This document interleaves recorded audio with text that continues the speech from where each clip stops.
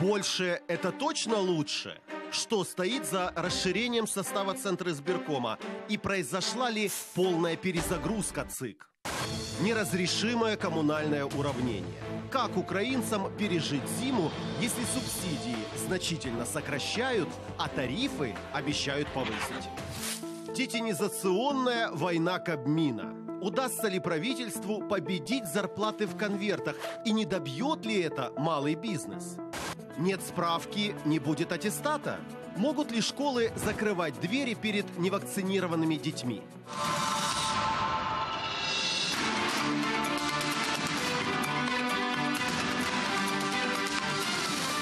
Здравствуйте, я Алексей Лихман. Давайте вместе проанализируем главные подробности уходящей недели. Бюджетный процесс стартовал. На кону триллион гривен. Столько планирует потратить Кабмин в следующем году. Но хотелок у депутатов уже больше. И чем ближе выборы, тем эмоциональнее депутаты будут отказываться поддержать правительственный, строгий вариант бюджета. Кто уже успел заявить о своих требованиях в Верховной Раде? И чем еще политики хотят порадовать избирателей, знает моя коллега Екатерина Лысенко. Два последних дня в Верховной Раде наглядно показали полярность настроений и в парламенте, и у его стен. Четверг. Под куполом полный зал, на улице протесты с применением дымовых шашек. Пятница. Свободная площадь Конституции и полупустые кресла, хотя в зале весь Кабмин. Впрочем, в четверг депутатам было от чего устать. Ну, по их меркам. Обновили Центр избирком, запустили очередные изменения в Конституцию и выслушали президента. Армія, мова і віра. І це не гасло. Це формула сучасної української ідентичності. Президент много говорил об армии и поддержке оборонного сектора, роли миротворцев в урегулировании ситуации на Донбассе и о церкви. Правда, так и не уточнил, когда же Украине предоставят Томас.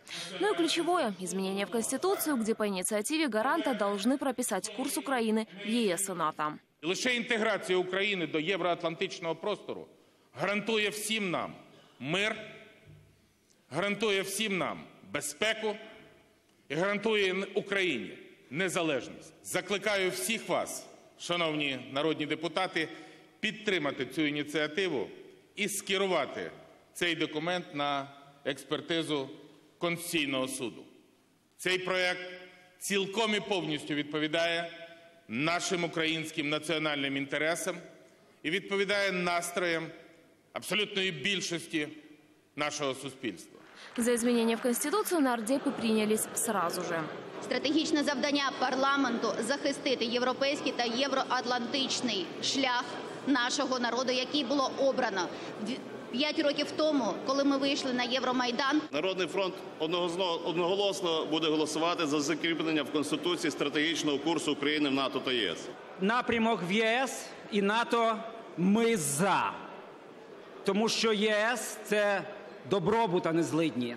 Тому що НАТО це безпека, а не російська агресія. Я переконана, що наше майбутнє в європейській цивілізації і наша безпека беззаперечно з країнами, які сповідують цінності і мають можливість захистити себе в колективній системі безпеці НАТО.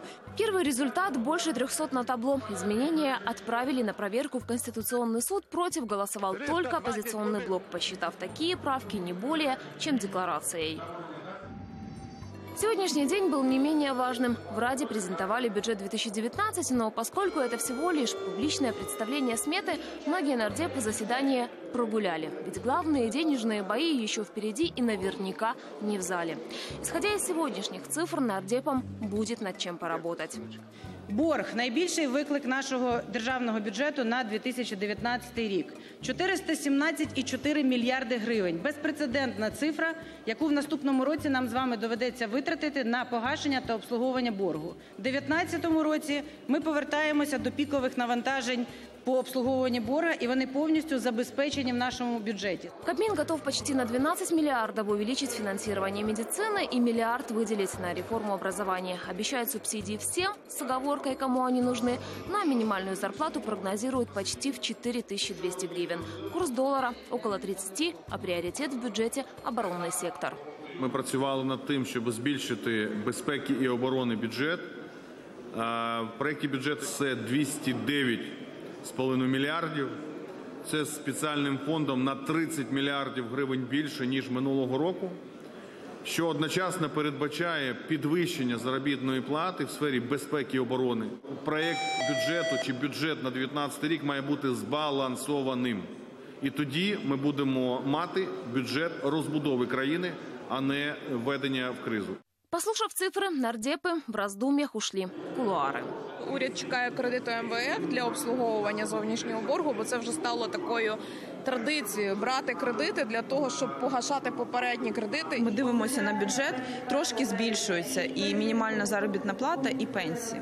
Але якщо ми подивимося е, розрахунки по інфляції, то ми бачимо, що люди цього не відчують. Ми дотепер не знаємо, а яка буде ціна газу на опалювальний період. Але ж ми розуміємо, що від ціни газу залежить усе. Е, Якщо ми говоримо про ціну газу для промисловості, то це зразу вкладається в собівартість продукції. Отже, всі ціни на всі продукти харчування зростуть. Йде збільшення на 15 мільярдів гривень по силовим структурам.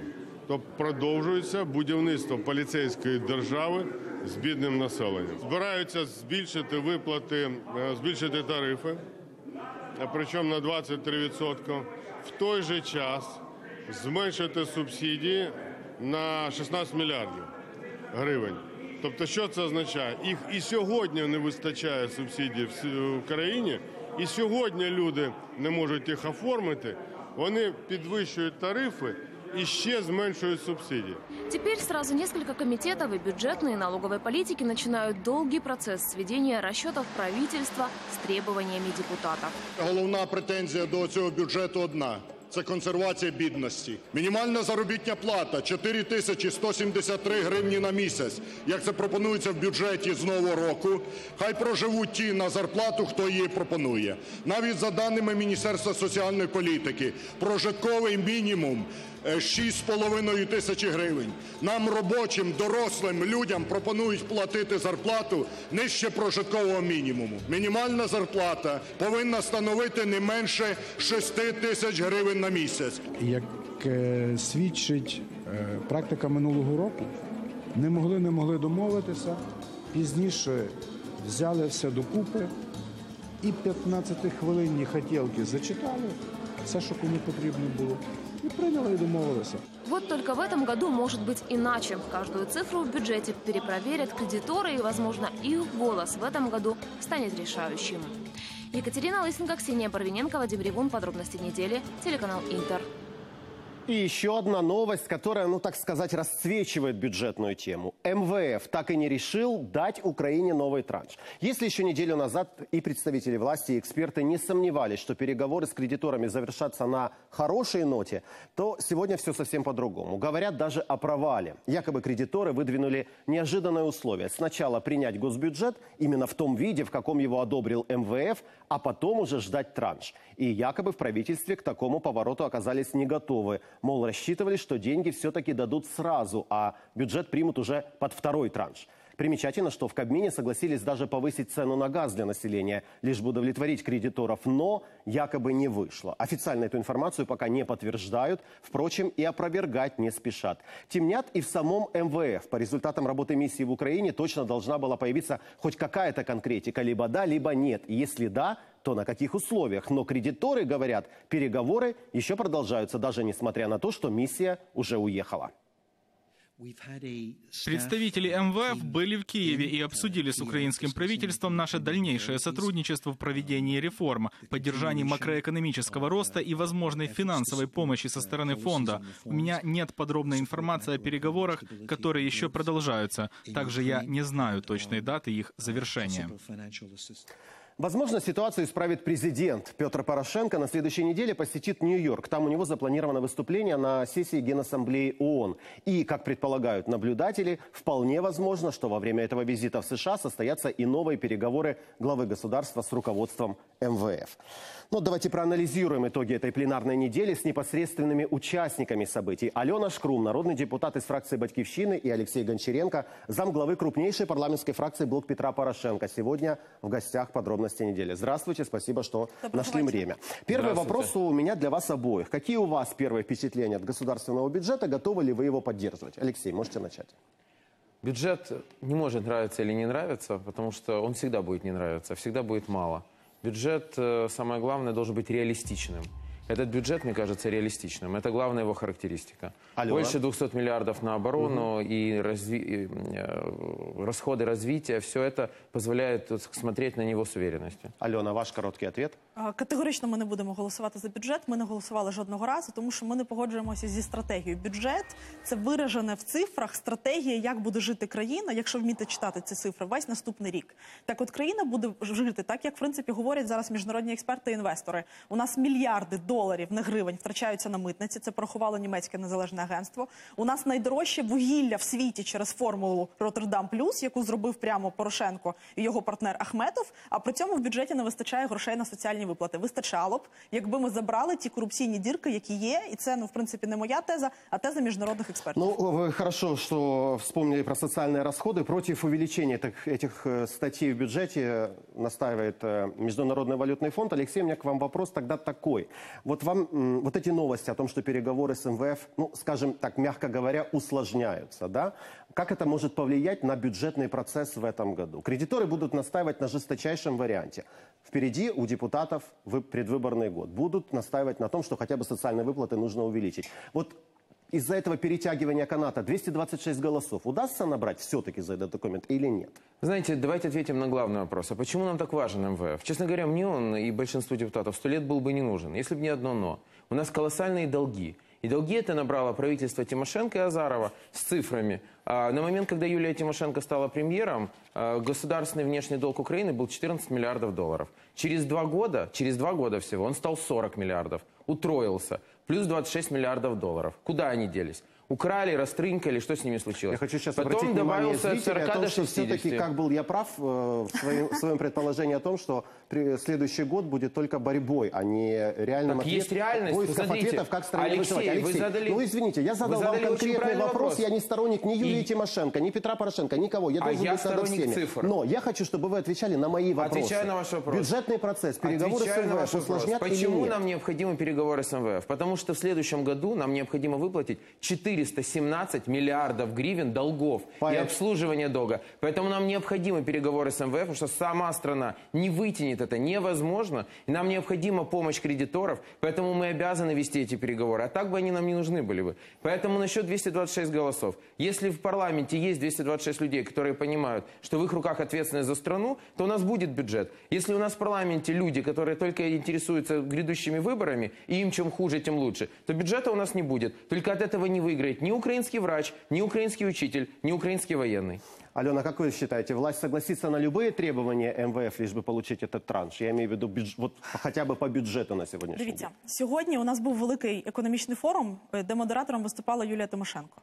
І ми там говорили якраз не про лозунги політичні, да? а ми говорили, як наповнити гроші в бюджет, як знайти ці гроші, тому що вони у нас є. Вони у нас факти- фактично лежать в корупційних дирках під ногами. Я тільки що перевірила цифри: 5, е, 5 мільярдів доларів на митниці підрахувало німецьке агентство. Ми втрачаємо через корупцію на корупцію на митниці. Так, от Петро Олексійович Порошенко не може на четвертому році казати, що винен хтось інший. Уже воно не про ну, не прокатує. Алена, я сейчас вам делаю Да? то же замечание, которое Добре, делал кажу, минуту назад Алексей. Кажу Не ще раз. нужно мне здесь ми не можемо, дивіться, ми не ответ. можемо бути затиснуті весь час між МВФ і українським народом, якому треба якось дихати. Тому нам треба підіймати малий середній бізнес. Нам треба шукати гроші в бюджет. МВФ не вимагає від нас болючих реформ. МВФ вимагає, щоб ми могли повертати борги. Тут я, до речі, погоджуюсь. Але щоб повертати борги, не можна, щоб вся країна затягувала паски, крім Ахметова і пана Порошенка. Ні, треба шукати звідки дати дихати малому середньому бізнесу. Якби Порошенко це робив 4 роки назад і робив те, що про що він говорив в своїй промові, то ми б жили в іншій країні, і ми б давно повернули МВФу борги. До речі, Юлія? Тимошенко була єдиним прем'єром. Друзі, це ви можете перевірити, який брав, по-перше, кредити у МВФ під дуже низькі відсотки і повертав. А по-друге, брала 2 мільярди, які не треба було повертати без поворот, безповоротної допомоги, тому що їй довіряли, тому що довіра була. Була до уряду набагато більше ніж до Петра Я цифры. предвыборную Я на назвал жаль, цифры. на Друзья, жаль. С 14 На жаль. миллиардов до 40 за закончили два года. предвыборную агитацию. Поймите, наконец-то, и вы, и все ваши коллеги-политики. Людям неинтересно слушать, что было и кто, по вашей версии, виноват. Давай поговорим, Людям- як вы, выигра- вы выиграете А выборы только в том случае, если вы будете предлагать вариант, что вы готовы сделать для того, чтобы стало лучше. Точка, А я за- отвечаю точка закрыли этот спор. А вы Еще давайте одна тема хочу обсудить Алексей, с вами одно этой слово. неделю. Нет. Одно слово по бюджету. Так, Вы Алексей, знаете, что к концу... очередная- Я ни слова не говорю про оппонентов. К концу 2019 года, согласно этому проекту бюджета, с нынешних 60% внешнего долга, 60% от ВВП, мы должны перейти к 52%. Вот вам ответ, что делать. Мы хотим отдавать долги и снять, наконец-то, эту долговую давку с э, горла Украины. Хорошо, спасибо. Еще одна тема этой недели – очередная порция изменений в Конституцию. Судя по событиям этой недели в парламенте, 300 голосов, в общем-то, скорее всего, найдется. Но вот верите ли вы, что это будет не просто декларацией, вот эти изменения в Конституцию Украины, а реально вот эти, ну, эти изменения на что-то повлияют, если можно коротко? Коротко, корабль, который никуда не плывет, никогда никуда и не приплывет. Мы должны определить свою цель. Если наша цель Европа, это надо прописать в Конституции Украины. Президент это предложил, и я очень рад тому, что 321 народный депутат, несмотря на все противоречия, объединились вокруг этой инициативы. Алена? А, Коротко, Е, Юлія Тимошенко була прем'єром, яка підписувала якраз е, подання до НАТО щодо надання нам е, ПДЧ, да, плану дій. Тому, звичайно, ми це підтримали. Я там по-різному можу казати, як я це вважаю, чи виборчим піаром, чи ні, але ми це підтримали.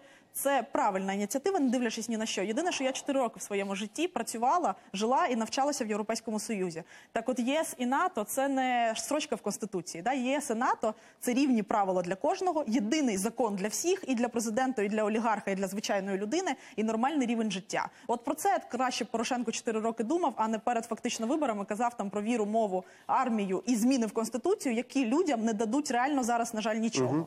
Понятно. Заканчиваем этот блок, но не заканчиваем общение с вами, потому что хочу еще обсудить еще одну тему. После четырех лет задержки Верховная Рада все-таки обновила состав Центра избиркома. Но и это не удалось сделать так, чтобы никто не смог обвинить депутатов в нарушениях. Несколько статей регламента, несколько статей Конституции. Давайте посмотрим, как меняли комиссию.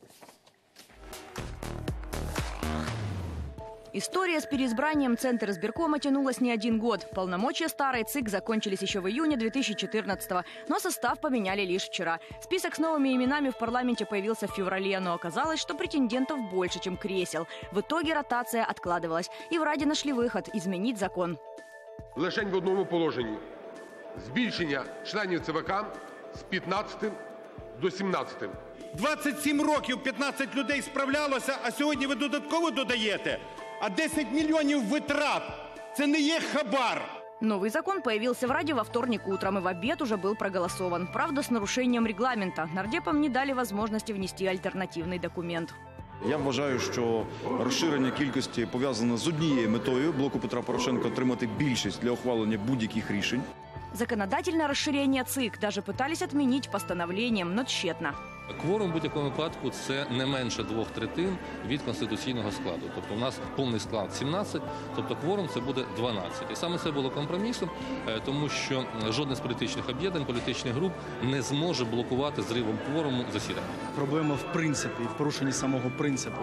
Адже е, всі фракції і всі е, групи повинні бути представлені в Центральній виборчій комісії. І ми з вами побачимо, що ці проблеми нікуди не зникнуть. С представлением всех фракций действительно вопросы. Ведь кандидатура от оппозиционного блока так и не появилась. Чому у президента там 10 осіб, а у нас повинна бути одна особа, при тому, що ми маємо право, виходячи з квотного принципу, при 15, ми маємо е, право як мінімум на двох, а при 17 на трьох. Чому у нас повинна бути одна? Но в большинстве считали иначе. Там готовы были отдать Апоблоку одно место и на всякий случай решили оставить его вакантным и голосовать за тех, кто есть. Серед запропонованих кандидатур немає тих, хто працював в попередньому складі Центру виборчкому. Це відповідь глави держави на вимогу суспільства. В результаті перевірки не зафіксовано будь-яких фактів, які би перешкоджали призначенню зазначених осіб на посади членів Центральної виборчої комісії. И хотя далеко не все фракции поддерживали расширение ЦИК, обновление комиссии все же одобрили. Оновлення складу Центральної виборчої комісії, її якісна робота визначатимуть майбутню легітимність виборів президента і парламенту. Оппозиционный блок теперь намерен идти в Конституционный суд, ведь кандидата от их фракции так и не появилось. И еще обращаться к мировому сообществу. Ну а новые члены Центра сберкома готовятся занять свои кресла. Правда, приступить к работе они смогут после того, как два из новоизбранных сотрудника сдадут депутатские мандаты.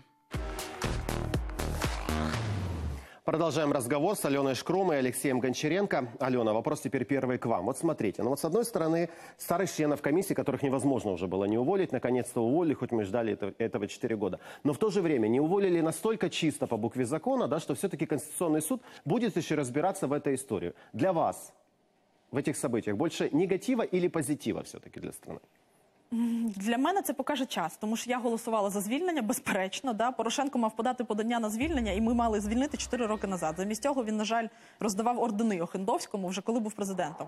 Але призначення ми збільшили склад. Ну не ми, а коаліція. Да? Ми за це не голосували з 15 до 17, тільки тому, щоб у президента була там більшість. Тобто ми замінили нелегітимну, незаконну, абсолютно вже завершену з повноваженнями ЦВК Януковича на ЦВК, де більшість буде у Порошенко. Я просто сподіваюся, що там будуть достойні люди, дивлячись на те, що вони там люди, так звані Порошенка, які не дадуть узурпувати владу, фальсифікувати вибори. Час це покаже. Алексей, почему нельзя было провести обновление Центра сберкома, которое нужно было, да, безусловно, проводить, но без нарушений? Почему вот нужно было давать вот эту зацепку, чтобы в, в этот процесс мог еще э, войти и Конституционный суд? И что будет, например, если, скажем, после первого тура президентских выборов внезапно возникнет Конституционный суд и скажет, что Центр избирком назначен Або неконституционным? ЦВК не збереться просто банально.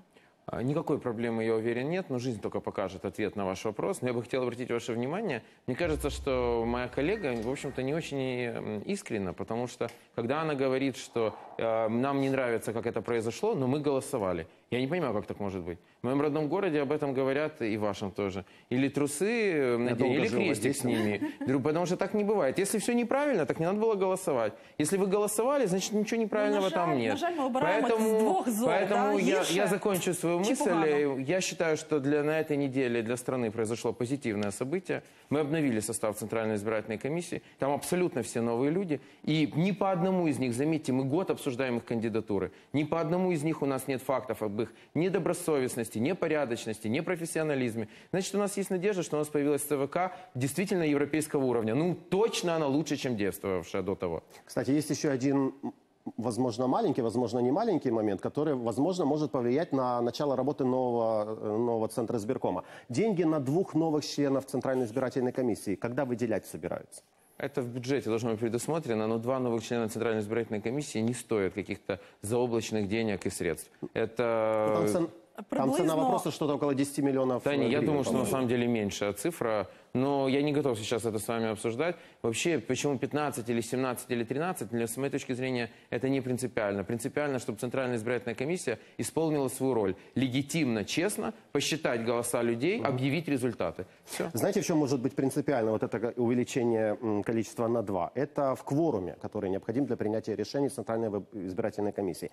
Две трети раньше от 15 было очень легко посчитать. Это 10 человек. От 17, ну, 100%. Никакой будут- проблемы нет. В законе прямо прописано, что считается кворумом. Там сказано две третины и с количеством. Поэтому такой проблемы нет, Алексей. За это можно вообще не є, переживать. така проблема Вы є, видите тому в этом що проблему? так, Никакой як проблемы. юрист, тому що більше двох третин це значить більше 11 людей. Тому що 11 людей це не дві третини. Да? Там дві третини це Ну, даже 11 если взять две трети от 17, я считал, это 11 11,3, да, да. Тобто Це має бути закон, а не мінімум школьна 12. учебник Тому, в математики. принципі, що Пока у вас не зробила... пойдут суды за Ну, эти да, 33 в принципі, сотых. що вони зробили? Алексей, Вони написано написали, в що 2 законі плюс 2 прямо. буде 5. Але В дивіться, дивіться, в чому прямо історія. написана цифра. Дивіться, я одну фразу скажу. Петро Олексійович дуже часто ставить в парламенті таку умову, що або нічого взагалі, або так, як я сказав, да? і тільки так. Так було по державній службі, так було по прокурору генеральному, або старий генпрокурор, або без юросвіти, так по ЦВК.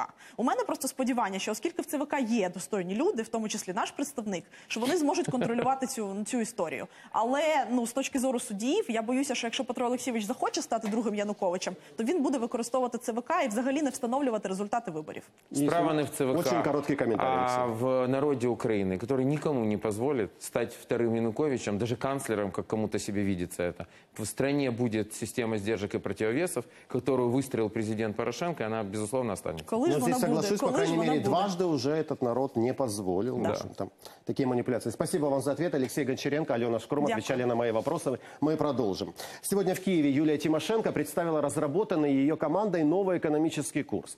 За два часа лидер «Батьковщины» затронула, пожалуй, все аспекты экономической жизни страны. И, похоже, все их и собирается поменять. Предлагает другую монетарную политику, то есть полный пересмотр работы Национального банка, а также стимулирование экономического роста и переход от сырьевой модели экономики к инновационной. В першу чергу ми мусимо поставити собі за мету перехід від кланово-олігархічного економічного устрою до соціальної ринкової економіки. Другий головний пріоритет це трансформація відсталої сировинної економіки, яка не зможе нам принести ніяких результатів, якими би ми пишалися, на зовсім іншу економіку економіку інноваційного розвитку.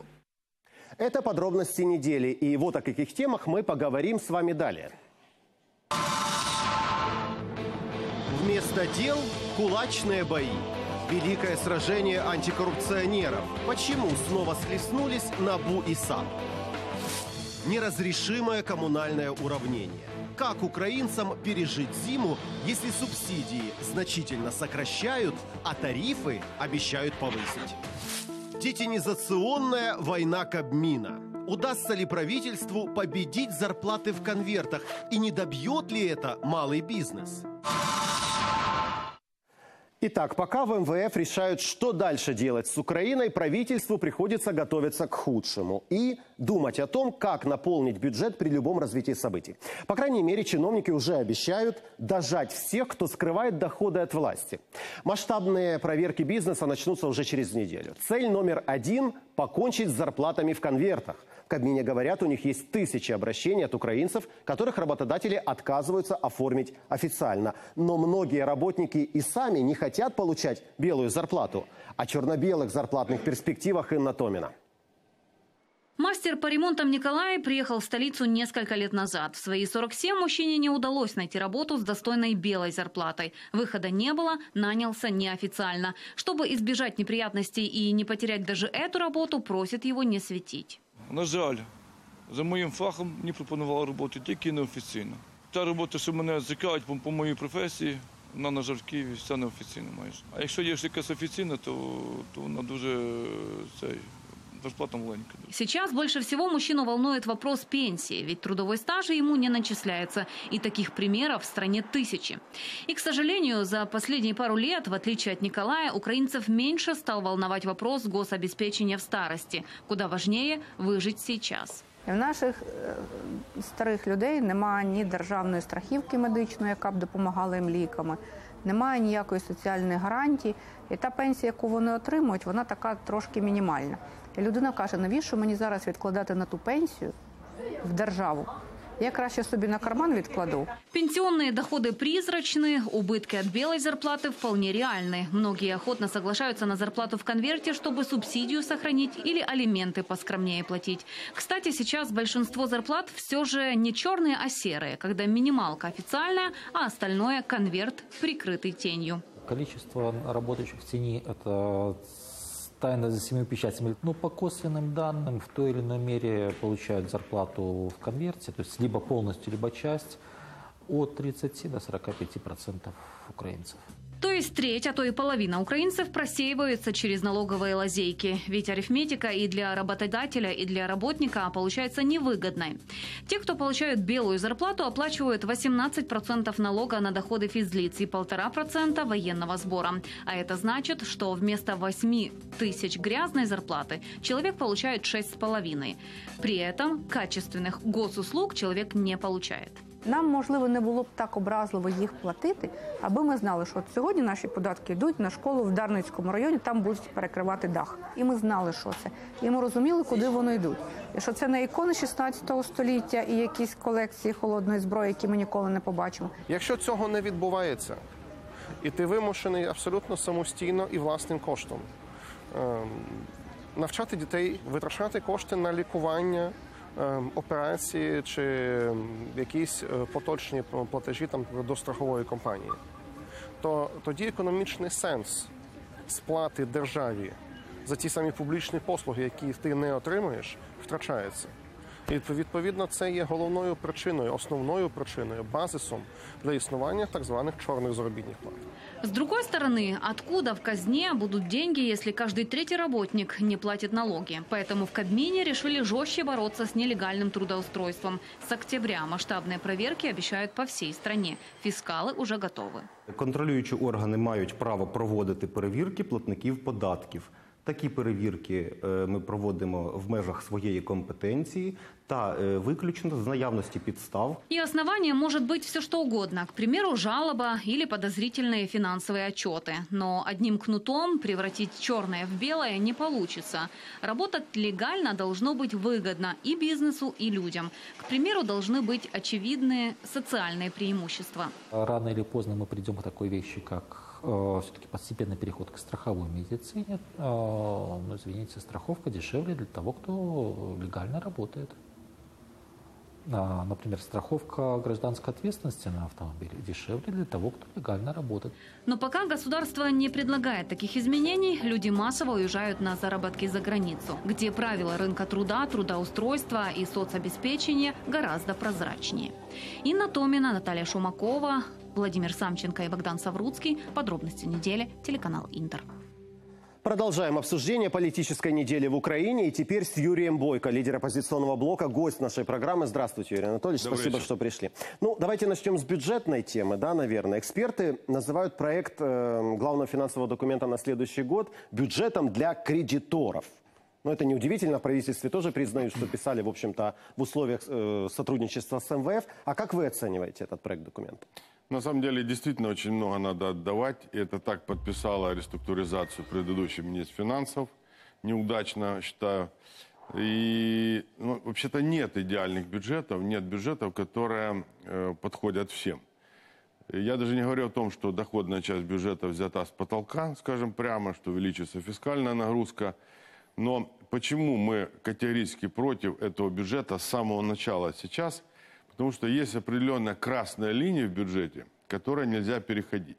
Ну нельзя увеличивать э, тарифы на газ и при этом снижать на 16 миллиардов субсидий. Их и так не хватает в этом году.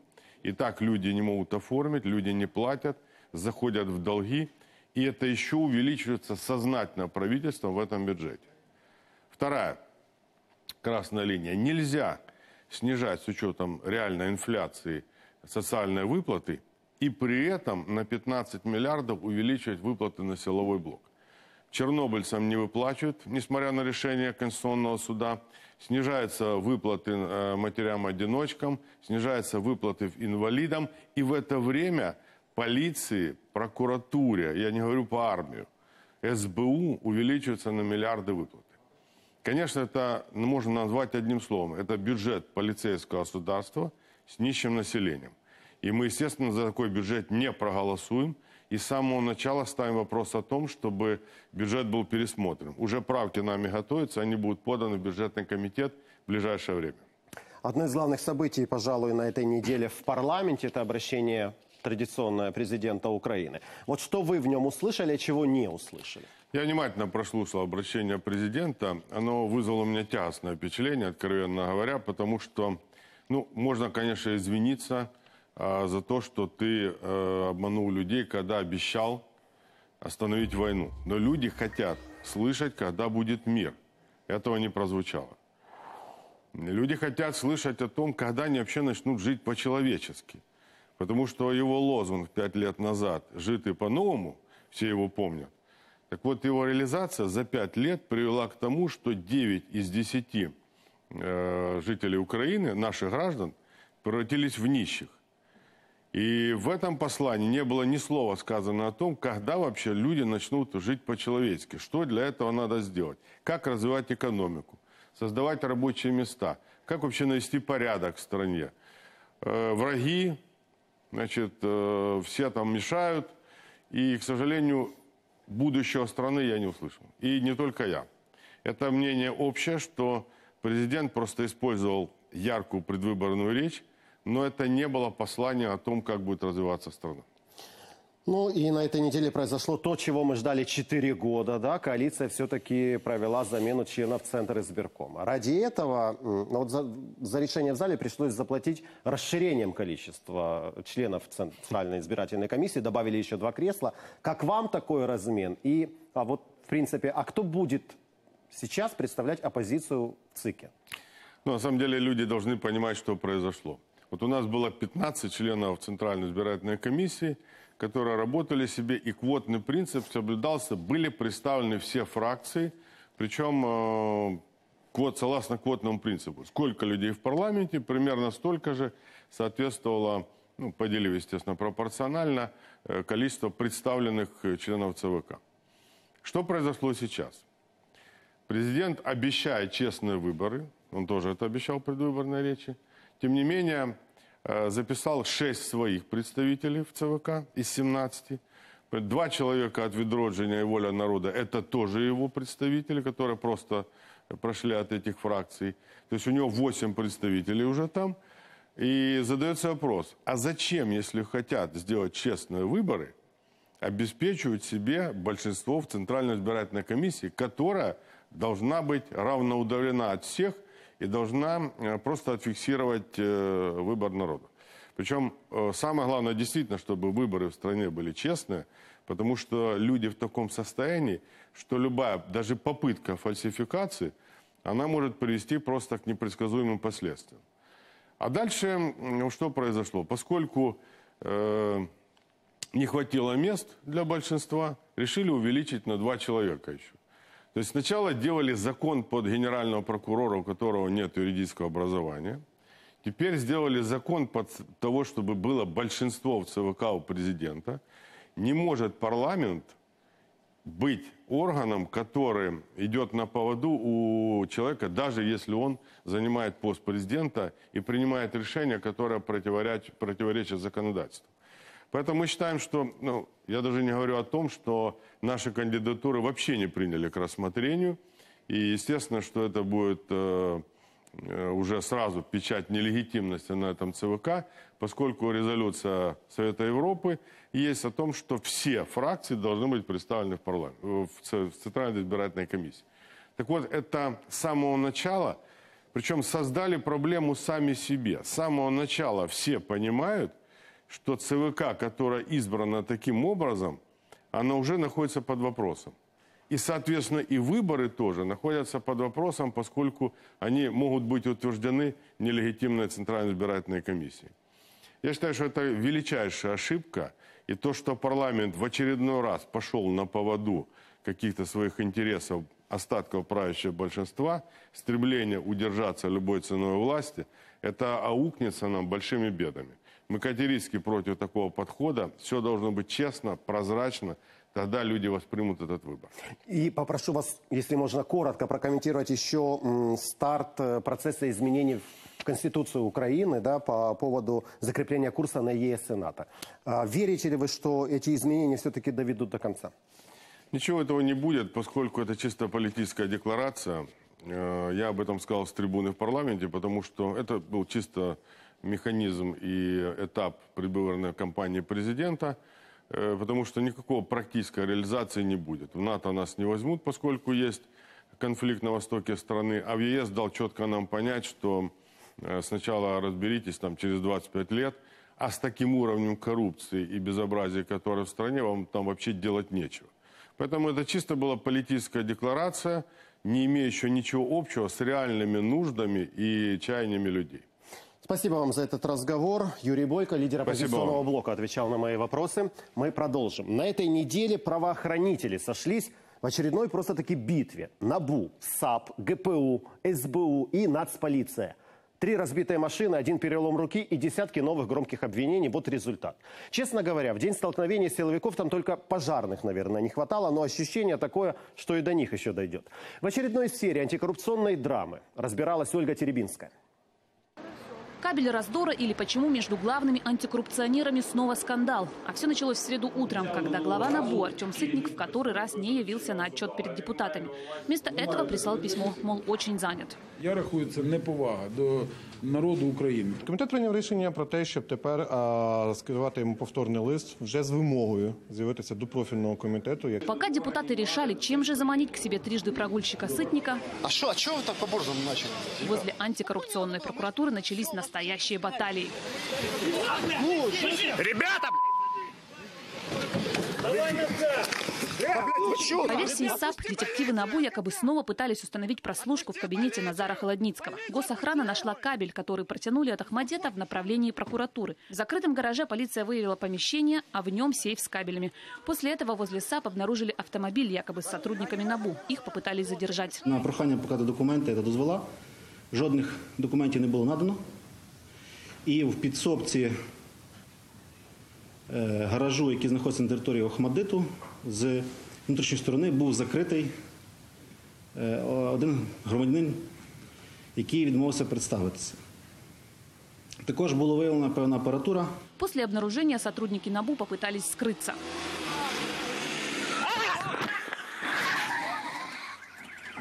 Параллельно разбили автомобиль САП и две рядом стоящие машины, а водителю Холодницкого сломали руку. з'явився спецназ Національного антикорупційного бюро, славнозвісний спецназ в шкарпетках. Е, Після чого водія антикорупційної прокуратури було силою витягнуто з службового автомобіля. На його місце сів працівник, як я розумію, НАБУ. Стойте, держите водителя! По итогам конфликта в САП заявили, что считают пребывание Артема Сытника на должности руководителя НАБУ несовместимым с противодействием коррупции. В свою очередь в НАБУ от всего открещиваются. Говорят, их детективов никто не задерживал, никакие жучки они не устанавливали. Це неправда, це і ми це спростовуємо. И вообще сотрудники бюро там были по другим делам. Зараз повністю їх суть розкрити я не можу, тому що це таємниця досудового розслідування. От. Окремо, окремо стався інцидент, дійсно дуже дивний, коли їхали наші співробітники управління спеціальних операцій. Вони були заблоковані автомобілями е, е, спеціалізованої антикорупційної прокуратури. Причини цього блок- цього блокування пояснено не було.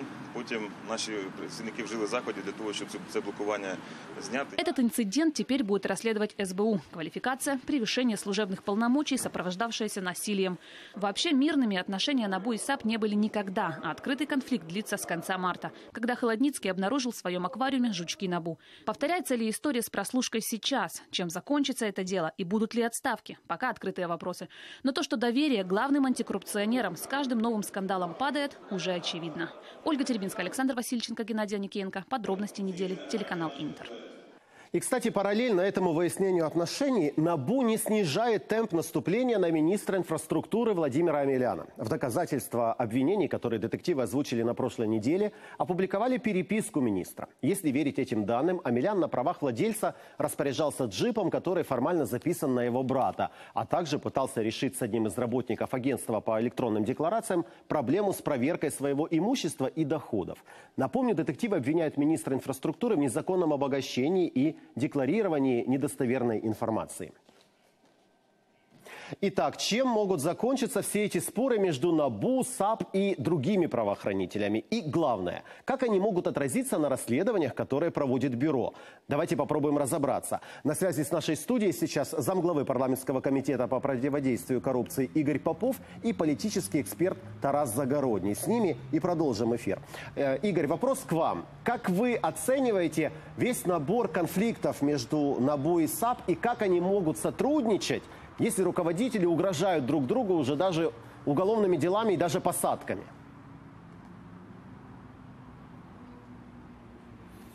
Э, Добрый вечер. Конечно, нашим зрителям, возможно, даже интересно смотреть за этой мыльной оперой, возможно, делать ставки, кто выиграет, но ведь главная проблема не в персональном конфликте. А главная проблема в том, что эффективность, которая и так была невысокой, все далее падает. Вы абсолютно правы в том, что все э, дела НАБУ должны подписывать прокуроры САП. И в последнее время э, все больше у них противоречий. Подписано из резонансных дел единственное по Омеляну, которому у экспертов, юристов, адвокатов слишком много вопросов. И поэтому чем может закончиться, к сожалению, может закончиться, как обычно, ничем, а чем должно закончиться, это действиями очень конкретными и кадровыми, и законодательными, которые должны увеличить эффективность борьбы с коррупцией. Потому что у общества огромный запрос на это, а мышей пока никто не ловит. К сожалению, вы правы. Тарас, следующий мой вопрос вам. Вот ваш прогноз. Сколько еще может продолжаться вот такая вот гонка обвинений, борьба обвинениями между Сытником и Холодницким? И чем это может все закончиться в результате? Ну, поскольку их избирали фактически на 7 лет каждого, то это будет продолжаться 7 лет, потому что, в принципе, та ситуация, которая сложилась вокруг НАБУ и САП, полностью устраивает все заинтересованные стороны, которые не хотят, чтобы эти правоохранительные органы реально работали. А, в э, идеале, конечно же, э, я бы уже поставил точку в этом эксперименте, расформировал эти э, лишние структуры, сделал бы НАБУ уже давно частью новосозданного бюро расследований, как это давно предлагалось, а сэкономленные деньги бы направлялось в первую очередь на создание нормальной независимой судебной системы, поскольку она бы дала возможности садить коррупционеров и создать в стране а, стабильные права собственности. А, но этого, скорее всего, сделать не, сделано не будет, и я не исключаю, что именно по той причине, что они фактически находятся в клинче, они как раз останутся на своих местах, потому что они всем удобны.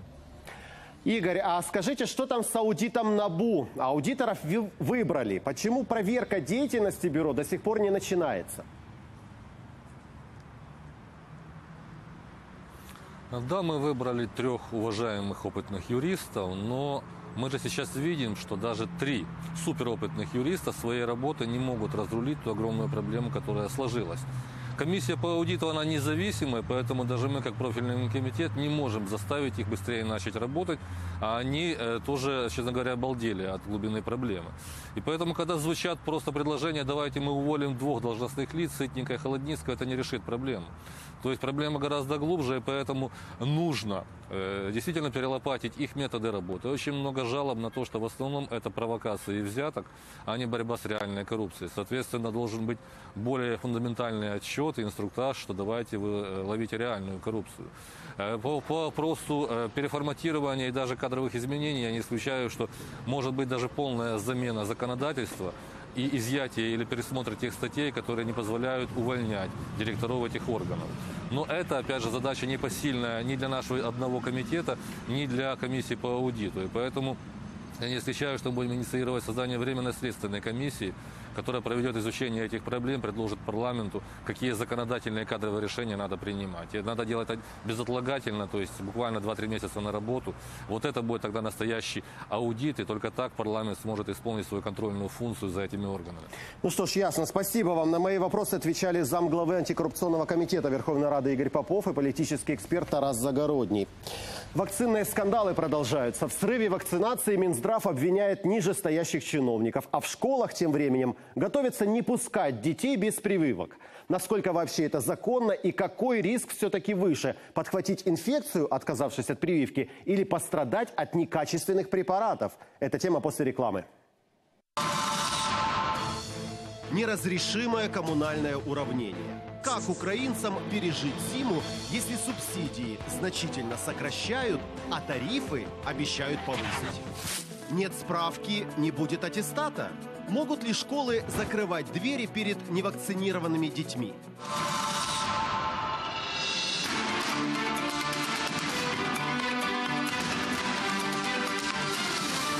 Вы смотрите подробности недели. Мы возвращаемся в прямой эфир.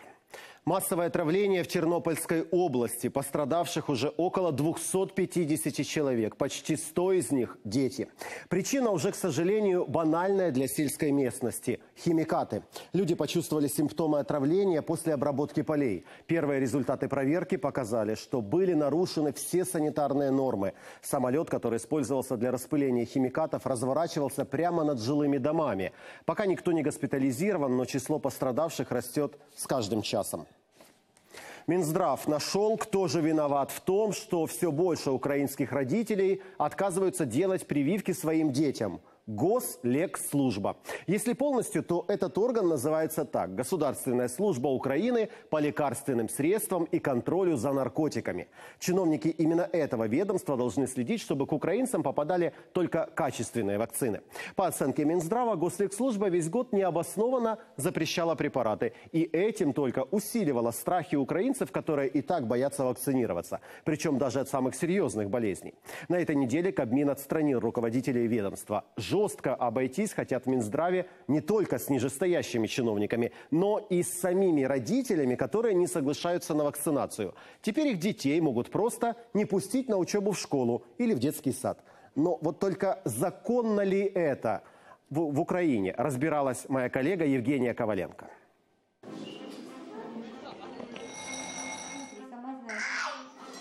Без справки двері в школу і дитсад закриті. Наші діти мають бути щеплені. Около недели назад Минздрав опубликовал официальный указ. Детям без обязательных прививок запретили посещать учебные заведения. А все из-за напряженной эпидемиологической ситуации в стране. Ведь с начала года в Украине заболели корью почти 30 тысяч человек. Из них 13 умерли. Кроме того, нам грозят вспышки краснухи, паротита, коклюша и даже дифтерии. В Украине самый низкий уровень вакцинации в Европе. У нас привиты менее половины детей. А чем меньше этот показатель, тем выше риск эпидемии. Опасную инфекцию любой ребенок может подхватить даже во время обычной игры. Если нет иммунитета, последствия могут быть очень серьезными. Но несмотря на доводы чиновников от медицины, указ Минздрава еще больше подогрел и без того горячие дискуссии между сторонниками и противниками прививок. Дискриминация или необходимая мера, нарушение закона или его соблюдение. В ведомстве ссылаются на закон о защите населения от инфекционных болезней. Но с другой стороны, все дети имеют право на образование. Если какому-то ребенку будет отказано в поступлении в школу на сегодняшний момент – из-за отсутствия вак- вакцинации, то это будет не просто нарушение обычного закона, это будет нарушением Конституции. В Минздраве парируют, их указ носит рекомендательный характер. Родители могут отказаться от прививок, но это должно быть оформлено соответствующим образом. Как хорошо знает Богдана. Она забирает из школы двоих сыновей. За всю жизнь мать не сделала им ни одной прививки. Говорит, проблем с допуском к занятиям у них пока не было. У младшего у меня отвод от прививок у него медицинский отвод, у него аллергические реакции. У старшего, ну, это было раньше, как бы все в школе об этом знают, у него просто их нет, меня нету липовых прививок, все по-честному. Не прививать детей – принципиальное решение матери. Говорит, мол, не доверяет украинским врачам, боится тяжелых последствий от некачественных вакцин. Все э, лечение последствий ложится на плечи конкретных родителей. Государство уже не обеспечивает да, лечение такого ребенка. То есть вы, они остаются с этой проблемой сами. Доказать, что это случилось вследствие прививки, э, практически нельзя. И таких, как Богдана, у нас в стране довольно много. Так называемое антипрививочное движение началось 10 лет назад, после смерти старшеклассника в Краматорске. Тогда СМИ растиражировали, что он умер якобы от прививки. Это спровоцировало массовую истерию и отказ от вакцинации. Еще один распространенный миф, мол, прививки могут вызвать аутизм и анафилактический шок Щодо аутизму, то вже багато разів спростовані ці міф, ці міфи, і в усьому світі доведено, що вони ніяк не пов'язані. Щодо анафілактичного шоку, то дійсно будь-яка е, медична речовина, в тому числі і вакцина, може викликати цей анафілактичний шок, але ризик його мінімальний. Якщо порівнювати з ризиком захворіти кором, наприклад, то це сотні разів. Якщо говорити з ризиком захворіти дифтерією чи правцем, це навіть тисячі разів. Но причина низкой вакцинации украинцев не только псевдомедицинские страшилки, но и сам Минздрав. Много лет в Украине были постоянные перебои с препаратами для прививок. Чиновники просто срывали закупки. Сейчас, говорят врачи, вакцины есть и в государственных клиниках, и в частных. Единственное, родителям стоит проверять сроки годности и целостность упаковки. На ней серия и номер лекарства. Они должны совпадать с данными в сертификатах. Кроме того, на некоторых вакцинах есть термоиндикатор. Він має такий фіолетовий або світло-фіолетовий колір. От зміна цього кольору на сірий або темний, вакцина стає непридатною до використання. А вот побочные эффекты от прививки – это естественная реакция организма. Ми вводимо певні е, речовини, які можуть дати запалення, припухлість, почервоніння, і це нормально. Можуть бути певні місцеві, можуть бути загальні, як підвищення температури тіла у дитини. Уже больше недели в больнице в стабильно тяжелом состоянии, без малейших прогнозов. Это результат отказа от прививок. Под Киевом 11-летний мальчик наступил на гвоздь и заболел столбняком. Это тяжелейшая инфекция, которая поражает нервную систему и приводит к инвалидности или смерти. В этом году только в Киеве зафиксировали два случая заболевания столбняком, при том, что спасением от него является прививка из перечня обязательных. Я считаю, что э, родители, которые не делают прививки своим детям, подвергают других детей опасности. подвергают других опасности, потому что создают благоприятный фон для вспышек давно побежденных болезней. Светлана делает своему четырехлетнему Тимуру все прививки по графику. Единственное, внимательно проверяет и вакцины, и врачей. Никогда не опасалась никаких, в принципе, побочек. Но в первую очередь это из-за того, что у меня проверенные люди, которые делают. Вакцинироваться или нет – это выбор каждого родителя и его ответственность за здоровье ребенка. Но риск подхватить инфекцию все же намного выше, чем риск пострадать от прививки. Евгения Коваленко, Оксана Малашенкова, Иван Ермаков. Подробности недели. Телеканал «Интер».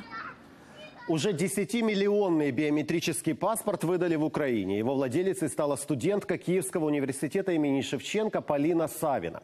Церемония прошла при участии президента Петра Порошенко и министра внутренних дел Арсена Авакова. Глава государства отметил, что сейчас украинский паспорт уже на 24 месте в глобальном рейтинге по количеству стран, которые можно с ним посетить. Сьогодні у нас паспорт буде получати 10-мільйонний громадянин України. 10 мільйонів. Україна йшла дуже довго до права мати біометричні паспорти, які не дають права безвізових подорожей до Європейського Союзу. Я тоді вже казав, що план дій щодо безвізового режиму передбачав 144 реформи, які день за днем мали зробити президент, уряд, парламент, Міністерство внутрішніх справ, наша міграційна служба. І всі були виконані так, що Assessment Mission – це є комісія, яка оцінювала, як саме, з якою якістю зробили це українці, поставила оценку відмінно. Впрочем, у сближения Украины с Европой есть и другая сторона – экономическая. Чем больше мы интегрируемся в Евросоюз, тем больше людей находят работу, а иногда и новый дом на Западе. Счет мигрантов из Украины тоже идет уже на миллионы. Какое настроение доминирует среди этих людей? Они уехали навсегда или еще вернутся? Вторая серия из нашего цикла «Путь мигранта». Материал Елены Зориной из Польши. І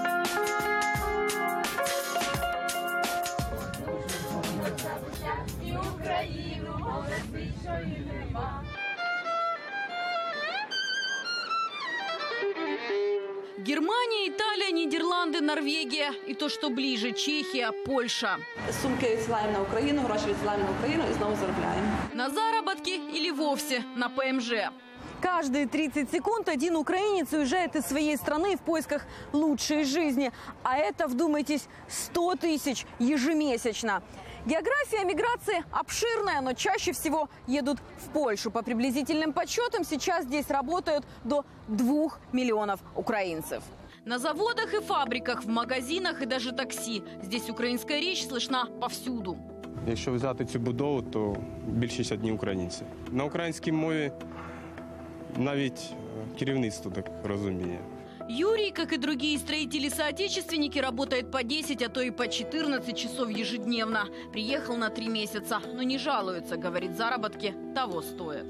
Плитку, мурування, бетон, штукатурять, шпаклюють. Ну, майже всі стро- строїтельні роботи. Менше тисячі доларів нема. Но строительство – это не самая тяжелая работа, говорит Иван из Ивано-Франковской области. Сложнее пройти испытание полем. С 7 часов утра, час обеда, потом э, до 7 часов вечера. Ну, оплата небольшая. маленькая, 9 злотых в час. Работу за границей можно найти как в Украине, так и здесь, в Польше, по приезде. Вот популярное место сбора наших в Варшаве. Греко-католическая церковь. На входе доска объявлений. Полна предложений о работе. Вони працюють руками. Лише 3% займають якісь там менеджерські посади. Середня заробітна платня в Росії зараз складає трохи більше 500 доларів, а середня заробітна платня в Польщі вже перевищила 1100 євро. Тобто, умовне, тобто умовний трудовий мігрант може заробити більше грошей саме в Європі. Более предприимчивые налаживают за границей свой бизнес и жизнь. И остаются. Тут маємо будинок е, триповерховий. Є на то попит. Багато українців їдуть е, в Польщу. Беремо її на роботу і тут поселяємо. Игорь здесь уже более 10 лет. Теперь у него своя строительная фирма и несколько хостелов. Тут у нас кухня, я знаю, е, плитка, мікрохвильовка, чайник, Холодильники. Інтернет безкоштовний, різні миючі до посуди також. Тут у нас кімната найбільша, восьмимісна, вільних місць е, немає. Землякам помогает, но сам в Украину возвращаться не хочет, хоть и скучает. Часто або я, або хтось мені так, але готуємо так. Українську страву. І не одну, не тільки борщ. Пироги. Відомо, що е, сумуються за, е, за Україною, ну, але вже тут живеться тут. Здравствуйте. Проходите. День добрый. Здравствуйте. Добрый день. Для этой украинской семьи все только начинается. Елена и Алексей в Украине и рыбу продавали, и сыр делали, и кафе держали. Но не задалось, денег не хватало. Покинули родину два года назад. Решили рискнуть, купили бизнес в Польше по интернету. Пиццерия и кебаб. Задаток перевели тысячу долларов. Не видя людей, просто вечером нам по скайпу показали помещение это. Ну вот. Ну, мы приехали. Теперь семья Бондаренко живет в пригороде Варшавы. Их дочь, трехлетняя Катя, ходит в частный детский сад. Родители могут это позволить. Елена работает в польском ресторане поваром. Вообще украинский филолог. Э, даже кандидат педагогических наук, доцент. А Алексей – водителем. На жизнь не хватает вообще, да. Остается, то есть отложить без проблем. Пиццерию продали, и теперь по вечерам после основной работы налаживают новый бизнес. В маленькой кухне съемной квартиры. Занимаюсь тестом. Ну, я занимаюсь мясом. Готовят украинскую еду на продажу. Вот у нас голубчики, синдюшатина, хинкали вот тоже, вареники там разные с капустой, с грибами, с картошкой. Вот. Даже есть такие вот зеленые со шпинатом. Это, говорят, довольно прибыльно. Среди клиентов есть поляки, но в основном украинцы. Готовили на 35 человек крестины э, для украинцев. Ты выгоден Польше, когда ты, то есть, ты работаешь, ты развиваешься, да, то есть э, платишь налоги, тебе дают сразу какие-то условия, то есть нормальные, то есть дотации идут на сельское хозяйство без проблем, и тебя не трогает, как у нас в Украине. Здесь, в Польше, семья Бондаренко мечтает о доме и собственном маленьком бизнесе. Сейчас, если бы сказали ехать в Украину, например, то говорю, ну как, это только вот чтобы родственников проведать. Они бежали от войны, а нашли новых себя. Правой ногой вперед, собрать, левой ногой в бок, подушки, уже на пальцы и собираем. 17-летний Боря и его мама Елена уехали из Авдеевки и уже пятый год живут в Варшаве. В Украине я была учителем, учителем информатики. Теперь не преподает, а делает популярное в Польше кулинарное шоу. Я пошла в Академию кино и телевидения в Варшаве, э, закончила ее, и уже в процессе учебы я начала работать как режиссер. А вот Боря крепко задумался, кем хочет быть. Говорит, растерялся от возможностей. Могу пойти в фильмовую школу или тоже филологией заниматься. И вот пока думаю, потому что есть какой-то такой выбор. Если говорить о финансовой стороне, конечно же, остаться было бы проще. В Авдеевке остались все родственники, но возвращаться Лена и Боря не хотят. В этом году навестили родину. Это вот там, это вообще был шок. То есть после того, как ты пожил в Европе, ты возвращаешься в город, где идет война, за ужином слушаешь выстрелы. Мне стало страшно. И я понимаю, что то, что произошло, это просто, ну, я не могу там жить. Не от войны, так от бедности. Украинцы уезжают подальше от родины. Впрочем, официальная статистика гласит, Польша уже не так популярна, как раньше. Соотечественники едут дальше, на запад. Кількість е, перетинів кордону зменшилась на 10%. Також, якщо ми бачимо по кількості виданих віз польськими консулами, вона теж зменшилась на 10%. Українці, можливо, знайшли собі інші країни більш придатні для працевлаштування. Це пояснюється тим, що заробітна плата в інших країнах Євросоюзу значно вища. Возможно, вскоре не в Польше, а где-нибудь в Италии будет жить и Борис. Увлечение танцами не осталось незамеченным. Парня приглашают в другие европейские страны. И хотя хэппи-энд для украинцев в Европе не всегда норма, судьбы складываются по-разному, но люди продолжают уезжать в поисках лучшей жизни и больших денег. Кто-то возвращается, кто-то вместо заработка находит неприятности, а кто-то становится гражданином другой страны. Из Польши Елена Зорина, Марианна Бурякова и Евгений Каминский. Подробности недели. Телеканал Интер. Сколько же людей уехали из Украины и сколько все еще остаются, это отдельная тема. Общие цифры называют самые разные. Например, многие сторонники власти склонны верить, скажем так, консервативным оценкам и говорят, что всего уехавших не более 5 миллионов, да и то большинство из них трудовые мигранты, которые вернутся. Меньше двух миллионов человек в России, еще около трех миллионов в Европе и других западных странах. А вот оппоненты власти утверждают, что ситуация намного хуже. Мол, уехавшись не меньше 7 миллионов. Причем большинство из них стараются закрепиться в новой стране. И еще один большой вопрос. А сколько же тогда человек живут сейчас в нашей стране? 42 миллиона или меньше? И если меньше, то насколько? Вот это не просто какие-то отвлеченные рассуждения. В предвыборный год важно задуматься именно о таких цифрах. Они свидетельствуют о существенных переменах в числе избирателей в том числе. А значит, этими переменами могут воспользоваться и для того, чтобы, так сказать, дорисовать нужный результат на выборах. Давайте эту тему обсудим с нашим следующим гостем. Вадим Карасев, один из самых известных и хорошо осведомленных украинских политологов в нашей студии. Здравствуйте, Вадим, спасибо, Спасибо. что нашли время. Спасибо. Ну вот какой оценке из озвученных мной вы доверяете? 5 миллионов уехавших, 7, возможно, больше. Э, Точно никто не знает это. А возможно и больше. Так, но думаю, больше 5 миллионов. Точно не знают, Больше потому что не хотят знать или просто пустили этот вопрос Э, на Ну, самотек? потому что слабая регистрация, наверное, так. Э, Вообще эта тема, ну, ну, как бы власти эти- этой темы, ну, как бы боятся, не хотят касаться, не хотят, чтобы она была в топах информационных и новостных, так. Поэтому, очевидно, просто или руки не доходят, потому что это серьезный вопрос. И демографическая политика, и политика трудовой миграции, она, знаете, все-таки не является вот той ключевой темой, на которой сосредоточена сегодня власть. Но, тем не менее, сложно ответить на этот вопрос, но мы с вами понимаем, что речь идет о миллионах Конечно, украинцев. да? конечно. Вот можно ли О миллионах расч- избирателей.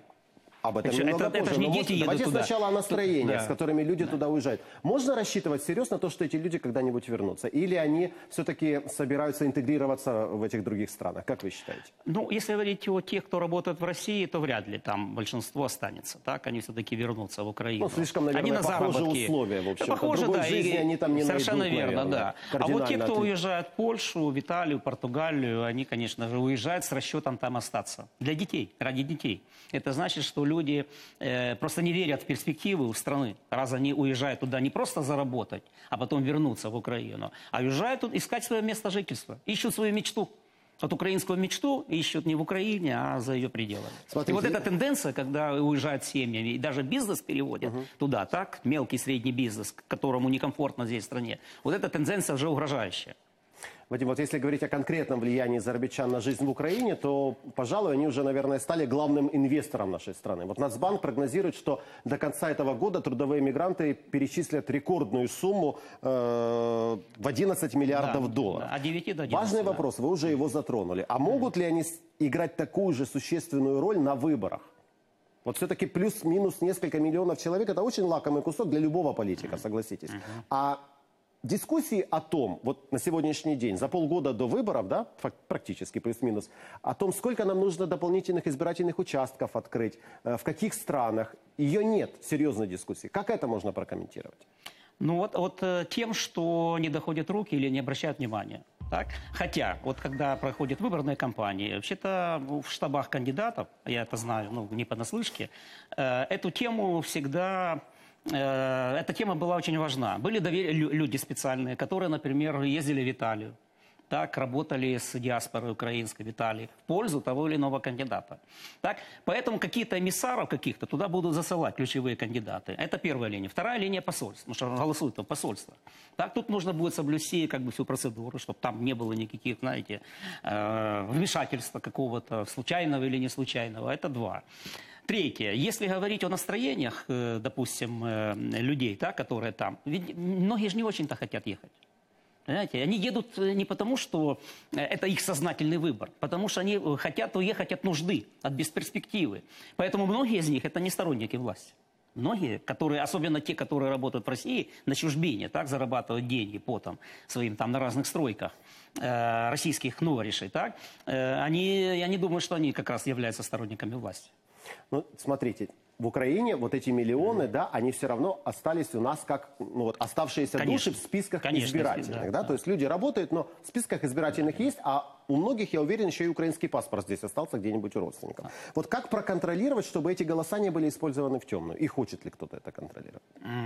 Я думаю, что э, над этим штабы, штаб, э, штабы кандидатов будут э, работать основательно, чтобы не использовали паспорта вот, и не голосовали за других людей. Я думаю, что как раз будут прорабатываться эти А вопросы. вы не думаете, что многие штабы наоборот захотят использовать эти голоса? Правильно. А, д- ну, ну тут же какая? Правильно. Одни будут использовать, Нет, а они, другие... наверное, будут думать так, мы, мы не дадим другим использовать, Совершенно но- но верно. потом да, да. Это такой взаимный сами, контроль. да? Взаимный контроль такой. И тут, конечно же, выиграет тот, кто будет более креативный для того, чтобы уйти из этого контроля. Но, в принципе, наши ключевые штабы и штабы ключевых игроков на президентских выборах, на парламентских выборах научились контролировать друг друга.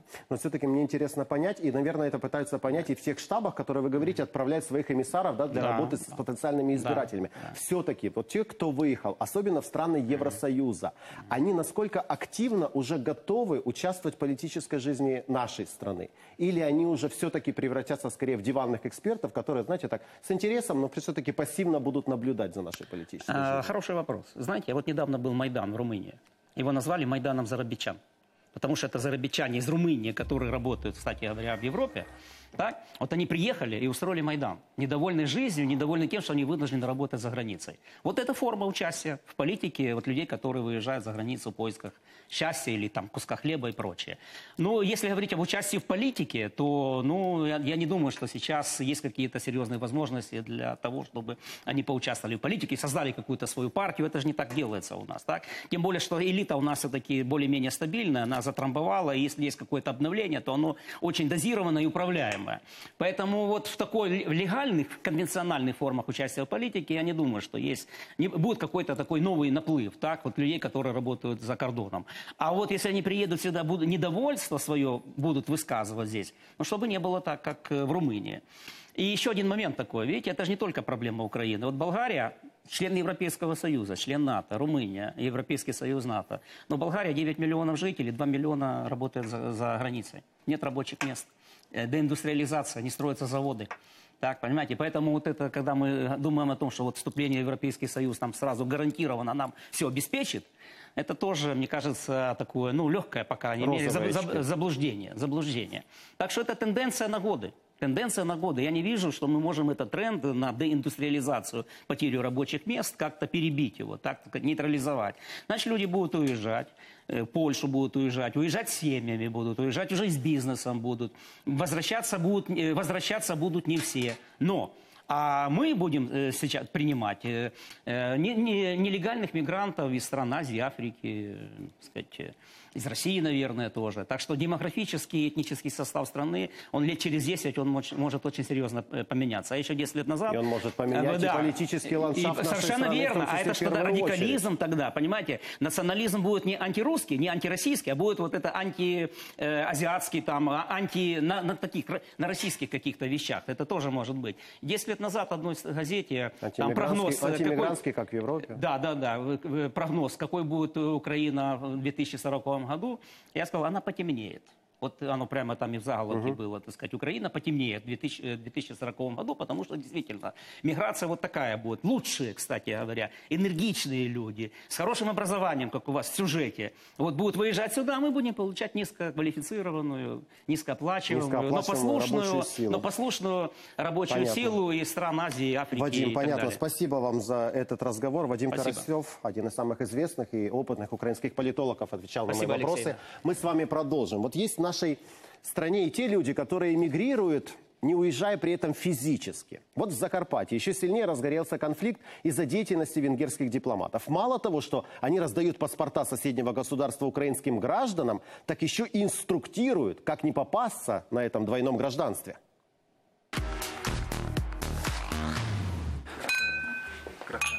Звон бокалов и торжественные речи. Клянусь, что считаю Венгрию своей родиной. И все бы ничего, но на верность Венгрии присягают граждане Украины. Эта процедура – один из этапов получения иностранного паспорта. Хотя в Украине двойное гражданство запрещено Конституцией, и венгерская сторона это прекрасно знает. Более того, заботливые работники консульства в украинском Берегове учат новобранцев быть хитрее. Скрывайте от государственных структур Украины факт получения венгерского гражданства. Это видео тайно сняли на мобильный телефон и выложили в сеть. Скандал разразился сразу. Павел Климкин даже видеообращение записал. Ми прекрасно знали, що це відбувається, попереджували наших угорських колег, але це вже доказ. На цей доказ мовчати не можна.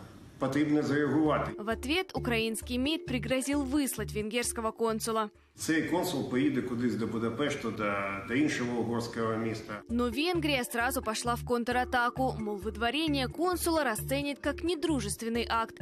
Двойное гражданство – это нормальная практика для стран ЕС, а в довесок прибегли к уже знакомым аргументам. Венгрия постоянно следит за развитием событий. Не исключено, что в будущем также могут быть предприняты дальнейшие меры по замедлению евроинтеграции Украины.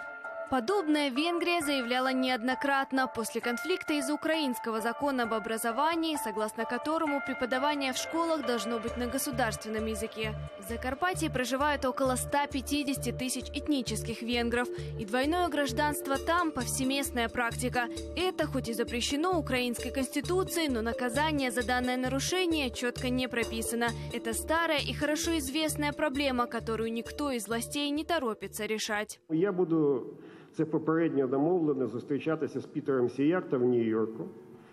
Ми будемо говорити про те, що ми будемо робити далі, про те, яким чином ми саме спільно маємо працювати з угорською громадою. Еврокомиссия ополчилась против восточноевропейских государств. Санкции от Брюсселя стали вполне реальной угрозой Польше и Венгрии. Если процесс против Польши только начинается, то Будапешту уже достается по полной программе. Вот за что Евросоюз наказывает своих членов, давайте посмотрим. Протесты и демонстрации против разных законов в Польше и Венгрии последние несколько лет – дело уже привычное. Оказывает давление на власть в Варшаве и Будапеште и Евросоюз. Венгрию раскритиковали за то, что ущемляет свободу журналистов и мешает работать общественным организациям. Польшу из-за судебной реформы, которая делает суды зависимыми от власти. Но поскольку на критику обе страны реагировали ответной критикой, лидеры ЕС решили действовать более прямолинейно. Мы очень медлили, пошли на слишком много компромиссов. Я хочу, чтобы мы говорили четко и твердо с Польшей и всеми другими странами, которые больше не уважают верховенство закона. Самое страшное наказание для стран ЕС – это лишение права голоса. Статья 7 Лиссабонского договора. За то, чтобы ее применить против Венгрии, Европарламент проголосовал убедительным большинством на прошлой неделе. Но венгерский премьер не унимался. Виктор Орбан продолжил привычную риторику. Мол, все это просто месть венграм за нежелание принимать мигрантов. Мы лучше защищаем границы, чем Брюссель или какая-либо международная организация, поэтому не откажемся от своего права и не пойдем на уступки в этом вопросе. Орбан не очень расстроился еще и потому, что процедура лишения голоса сложная и долгая. К тому же нужно согласие всех стран ЕС. А Польша, против которой такой же процесс начали еще в прошлом году, уже заявила, использует право вето и поддержит Венгрию. Впрочем, в Брюсселе подумывают применить другое наказание, которое не прописано в законах четко, но реализуется быстрее. Урезать выплаты и дотации. Дело в том, что если в стране нет надлежащего правопорядка и независимых судов, значит она не может должным образом бороться с коррупцией, и деньги из фондов ЕС могут быть использованы не по назначению. Но и для такого решения Брюсселю придется искать поддержку большинства государств-членов. И тут не только Венгрия и Польша придут на помощь друг другу. В игру еще могут вступить и Австрия, и Италия, тоже недовольная миграционной политикой ЕС. Из Брюсселя Елена Абрамович, Вадим Свиридонов. Подробности недели. Европейское бюро телеканала «Интер». Сегодня в Днепре лучшие студенты получили именные стипендии от фонда «Украина» Леонида Кучмы. Эта программа поддержки талантливых молодых людей действует уже 14 лет. Обладателями стипендий становятся те, кто выбрал высокотехнологические отрасли. Подобное поощрение в этом году получат студенты Харькова, Киева и Чернигова. Эта стипендия мотивирует всех студентов быть лучше, ставить цели и достигать их. Ведь, э, я думаю, никто не сомневается, что через 5-7 лет эти студенты будут работать в государственных структурах или будут президентами компаний. И у них уже будет это э, умение. Умение ставить цель, планировать и достигать ее. И в дальнейшем это поколение будет таким же образом развивать нашу страну. Это самая лучшая инвестиция в образование. В образование и в здоровье, я думаю, что это самые великие инвестиции. Но нам немножко надо, так сказать, курс менять, потому что сегодня мы в основном готовим больше гуманитарных науки, больше экономистов. Надо уже переходить на, на технические науки, потому что без научно-технического прогресса, без, без, без, ничего хорошего не, будет. Жизнь в оккупации, под постоянными обстрелами, с чужой валютой и по чужим законам. Именно так несколько лет жили жители Новоалександровки. До зимы этого года, когда село освободила украинская армия. Тогда, в феврале, наш военкор Игорь Левинок одним из первых побывал в опять украинской Новоалександровке. Во второй раз он поехал туда на этой неделе, чтобы посмотреть, как в прифронтовом селе живут сейчас – Изменились ли условия и сами люди? Материал Игоря смотрите далее.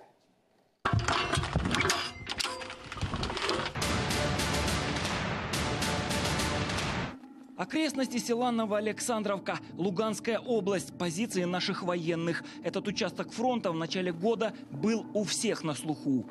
В январе украинские армейцы взяли под контроль населенный пункт, который находился в серой зоне. Войска продвинулись вперед на 2 километра, и Новоалександровка оказалась за спинами наших солдат.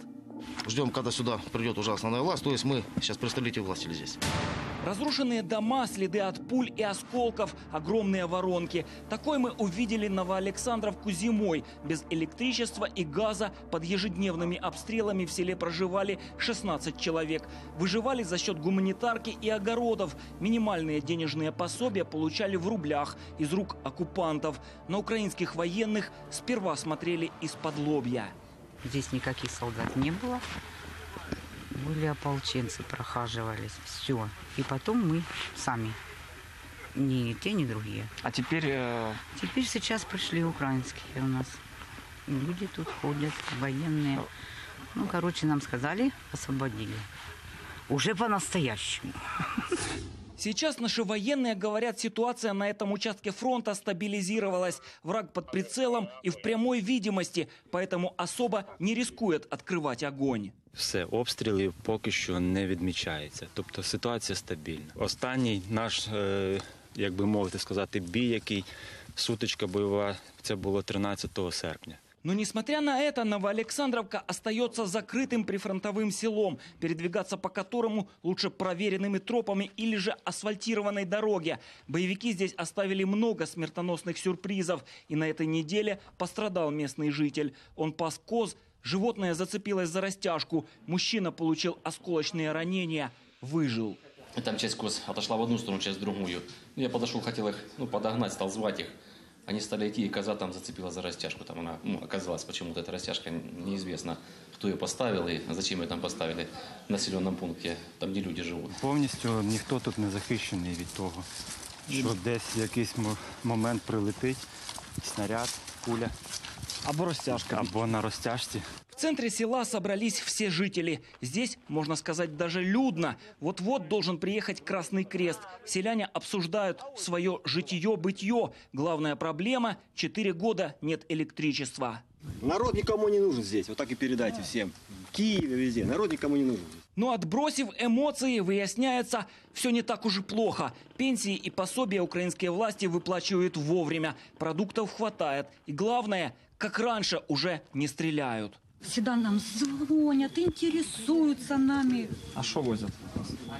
Продукты. Государство, взятое на себя обязательства, выполняет, по мнению этой женщины, даже слишком. Они получают пенсию 10-12 тысяч, приезжают на полдня в Попасную, получают пенсию 10-12 тысяч. И назад с Первомайска кричат «Ура, ЛНР». Нормально, да? Украинская сторона после освобождения открыла Новоалександровку для международных миссий. В село заезжает колонна внедорожников Красного Креста. День, когда в Новоалександровку приезжает миссия Красного Креста, местные жители ждут с нетерпением. Раз в месяц они собираются здесь все в центре села, получают гуманитарку. А это топливо, продукты питания и даже живая птица. Все бесплатно. А в помещении местного ФАПа принимают медики. В наличии аппарат УЗИ, кардиограф. Больным выписывают рецепты и здесь же по ним выдают лекарства. Такому сервису могли бы позавидовать многие жители украинской глубинки. Практически все патологии. Ну, на неврологических, урологических, хирургических, травматологических, э, кардиологических. Это практически все попадают под наш, скажем, ну, контроль, которых мы можем обследовать. Ну, вот потом у нас есть отоскопы, ну, там при болезни уха. Что вам для полного счастья тут нужно вообще? А свет? Пятый год света нету. Ну, свет это, конечно, нереально им проводить. Это очень дорого будет, понятно. Ну, нам привозили солнечные батареи, фонарики. На самом деле подвести электричество реально, хоть и сложно. Положить кабель, плюс ко всему там протекает речушка, это надо будет делать уже в зимний период, когда или замерзнет. Снова согласование режима тишины, все для того, чтобы э, была возможность это сделать. Как бы там ни было, большинство селян соглашаются. Жизнь в Новоалександровке за последние полгода изменилась. Она стала мирной. И люди это ценят. Мы раньше жили хорошо. Когда Вот раньше? До этого, до 2014 года. У нас был свет, и маршрутка ходила, мы ездили Да. по всей Украине, куда кто хотел ездить. Игорь Левинок, Андрей Костюк, Антон Чиженко, Ирина Орловская. Подробности недели. Телеканал Интер. Верховная Рада наконец занялась разработкой закона, который нужен для системного процесса разминирования в Украине. Еще недавно никому и в голову бы не пришло, что эта проблема в нашей стране будет настолько острой, но это еще один результат российской агрессии. За четыре года от мин на Донбассе пострадали почти 2000 человек, 482 человека погибли. Украину теперь сравнивают с Афганистаном или Вьетнамом, странами, в которых десятки лет пытаются очистить заминированные территории. Уже появились несколько тематических законопроектов. Первый от группы депутатов Наема, Залищук, Маркевича и Емца. Они предлагают создать специальное агентство по противоминной деятельности и позволить проводить разминирование не только за счет бюджета, но и за счет средств от международных доноров. Есть и альтернативный проект. В числе его авторов около 20 депутатов, причем фамилии впечатляют. Это и лидеры фракции коалиции, и представитель президента Верховной Ради Ирина Луценко, и первый вице-спикер Ирина Геращенко. Впрочем, наверняка депутаты попытаются объединить лучшие нормы из двух проектов в едином документе. Будем наблюдать за этим процессом. И уже традиционный источник проблем – Сирия. В эпицентре столкновения здесь в очередной раз оказались израильские, иранские и российские силы. На фоне уже привычной бомбардировки Израилем иранских целей на сирийской территории был сбит российский военный самолет. Москва возмущена, а вот Израиль, хоть и выразил соболезнования, но все равно пообещал продолжить удары. Каковы мотивы израильских военных, знает Сергей Ауслендер. Инцидент, казалось бы, исчерпан. Командующий ВВС Израиля генерал Норкин привез в Москву и продемонстрировал доклад с данными объективного контроля. Они доказывают, в тот момент, когда сирийское ПВО открыло огонь, израильских самолетов уже минимум как полчаса не было.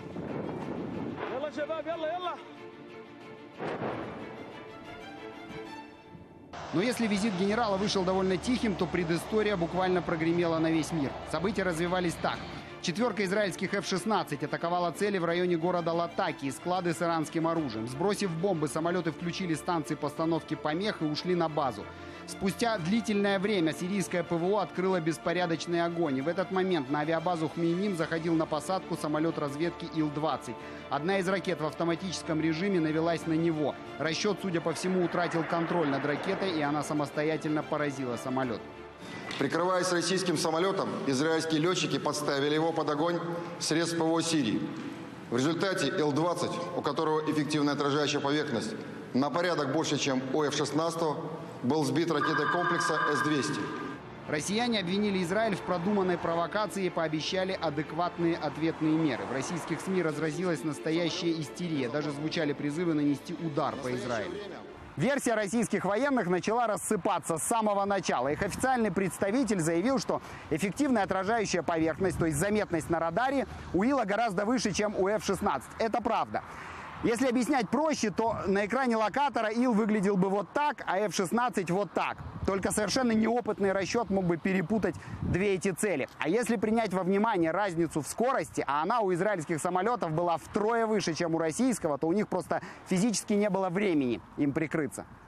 Под весом аргументов позже Путин назвал атаку цепью трагических случайностей. И уже известно, что российская военная полиция арестовала сирийских зенитчиков, сбивших самолет. Израиль во всем обвинил режим Асада и Иран, против которого Иерусалим и действует в Сирии. От своего имени и от имени граждан Израиля я выразил сожаление по поводу гибели 15 российских летчиков, членов экипажа самолета, сбитого огнем сирийской ПВО. Корень проблемы в том, что Иран пытается использовать территорию Сирии для нападений на Израиль и вооружает наших врагов, таких как Хизбалла. Я также сказал, что у нас есть право на самооборону. Иерусалим не раз подчеркивал, никакого иранского присутствия в Сирии не потерпит и не даст Тегерану строить там свои базы. 200 налетов за полгода – яркое тому подтверждение. ВВС Израиля последовательно и четко уничтожают все, что может создать угрозу для безопасности. Это те цели, в которых э, э, собраны виды вооружения для Хизбаллы или для шиитских милиций.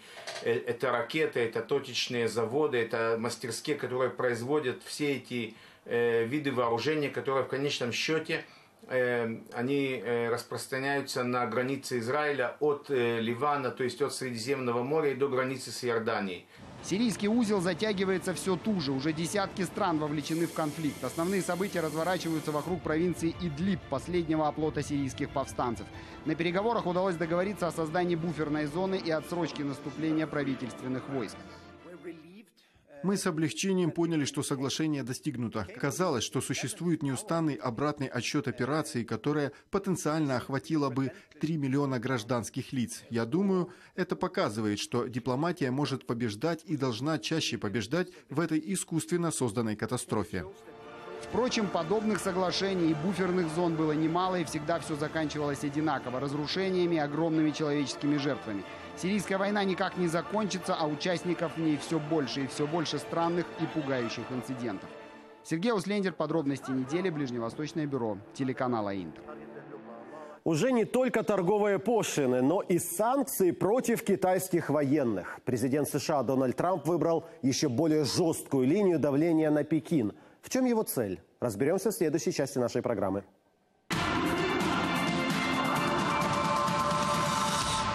Это подробности недели. Мы продолжаем. В течение всего этого года Вашингтон и Пекин обмениваются пошлинными ударами. Первым начал Трамп. Президент США считает, что торговля с Китаем устроена несправедливо. Мол, страдают американские рабочие и фермеры, а Китай еще и занижает курс своей валюты, стимулируя экспорт. Счет пошел уже на сотни миллиардов долларов. Трамп обещает, если надо будет, обложит новыми пошлинами поставки из Китая аж на полтриллиона долларов. Но вот только, есть ли от такой политики хоть какая-то выгода для самих американцев? Кто выиграл и кто проиграл, выяснял Дмитрий Анопченко. Огромные заводы и фабрики, где трудятся в три смены, и крохотные семейные мастерские, все они работают с одной целью, чтобы товары с надписью «Made in China» продали в Соединенных Штатах. Только по официальным данным, они зачастую занижены, с начала года китайцы поставили в Америку товаров на 67,5 миллиардов долларов, на четверть больше, чем год назад. Да, не всегда качественно, зато дешево. Да, инструкции зачастую переведены с китайского в Google переводчике, но кого это волнует, когда за такие же американские товары нужно куда больше денег выложить? Штаты тоже продают свою продукцию в Китай, но объемы не сравнить. Вот Дональд Трамп и пытается выровнять ситуацию, чтобы китайский ширпотреб выглядел не так привлекательно. И весь мир теперь на это смотрит, на этакую битву двух слонов, которые вытопчут все вокруг себя так, что мировая экономика окажется под угрозой. Борьба действительно не шуточная. В начале этой недели Трамп объявил о введении дополнительных пошлин. Наценка 10% на товары из Китая стоимостью 200 миллиардов долларов. С 1 января тарифы поднимут еще на четверть, а потом и третий этап может быть, если Поднебесная и дальше будет платить Вашингтону той же монетой, вводя ответные меры. Это уже не только экономистов, но и первых лиц МВФ обеспокоило. Конфликт усилится, это дорого обойдется обеим странам, и по всему миру проблем добавится. В МВФ, пожалуй, впервые настолько прямо сказали по поводу торговой войны Вашингтона и Пекина. В этой игре не будет победителей. Но, тем не менее, в обеих столицах в нее продолжают играть, словно в монополию, когда на кону не миллиардные убытки, а лишь бумажные фишки. Почему же Штаты так ею увлечены? Финансовые эксперты говорят, вопросы нужно задавать не им, тут политика на первом месте. Аргументы действительно политические. Президент Трамп обещал, что будет жестким с Китаем. Вот он и давит изо всех сил, рассчитывая, что на этой пропагандистской волне проскочит выборы в Конгресс. Избиратель в глубинке, для которого важно, чтобы в самой Америке рабочие места создавались, такую риторику поддерживает. Мыслит просто, мол, если на китайские товары пошлины введут, производство обратно в Штаты вернется. Но при этом не понимает, что если это и случится, огромные затраты на переезд производители на людей переложат, аккуратно подняв стоимость продукции. Но пока избирателя это устраивает, Белый дом продолжает закручивать гайки. Госсекретарь Помпео в эфире консервативного Fox News, который аудитория Трампа как раз и смотрит, даже заявил, мол, Китай для нашей страны куда большая угроза, чем Россия. Россия под руководством Путина остается забиякой. Мы должны давать отпор и сдерживать их где только можем. Но если посмотреть в долгосрочной перспективе на угрозы жизненному укладу американцев, Китай является намного большей угрозой. Эти слова мгновенно долетели до Пекина. Их там восприняли серьезно. Ну что ж, враги значит враги. С ответом не замедлили. Курс юаня к доллару просел, несколько раз обновив исторический минимум. И хотя официально это не признают, американские эксперты уверены, китайцы пытаются еще больше продажи в Штаты нарастить. Ведь для тех, кто покупает за доллары, их продукция становится дешевле. Пошла в ход и тяжелая артиллерия. Китай сократил вложения в американские гособлигации. При этом Пекин, крупнейший кредитор Америки, за последние годы скупил почти пятую часть американского госдолга. И любые резкие действия с этим пакетом несут огромную опасность для всей финансовой системы, и американской, и мировой. В Штатах это отлично понимают, но пока что политика на первом месте. Среди республиканцев многие готовы пойти на убытки, если торговая война с Китаем принесет им голоса на предстоящих выборах. Из Вашингтона Дмитрий Анопченко, Сергей Коваль, Американское бюро телеканала «Интер». Ну, пошлины это уже привычно, а вот к санкции против китайских чиновников это громкая новость. Трамп включил в американский санкционный список еще и Департамент подготовки войск и снабжения Центрального военного совета КНР и его руководителя Ли Шанфу. Причиной такого решения американцев стала покупка Китаем у России истребителей и нескольких систем противовоздушной обороны С-400. Надо сказать, что торговые пошлины от Трампа еще не вызывали в Пекине такого гнева, как это санкционное решение. Вашингтон мотивирует его просто, мол, будет ограничивать любые существенные транзакции с российским оборонным сектором, пока Россия не изменит свою политику, кстати, и по отношению к Украине. И обещают вводить такие же ограничения и против других государств, если они совершат подобные покупки у российских оборонщиков. Впрочем, еще одной косвенной причиной вот такого давления Трампа на Китай может быть Северная Корея, давний союзник Пекина. Ким Чен Ын дал серьезное обещание президенту США и в Вашингтоне надеялись увидеть реальный прогресс по демонтажу северокорейской ядерной инфраструктуры. Но видят Типичный политический театр из Пхеньяна. Красивые жесты, громкие слова, восторженные толпы на улицах северокорейской столицы. Вот как во время встречи глав двух Корей на этой неделе. Давайте посмотрим.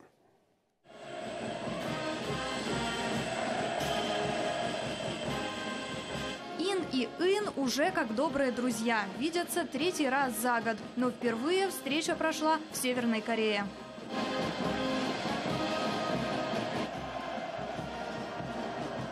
Северяне ко встрече с Мун Дже Ином подготовились основательно. В Пхеньяне вдоль дороги на несколько километров тянутся ряды граждан в традиционных костюмах.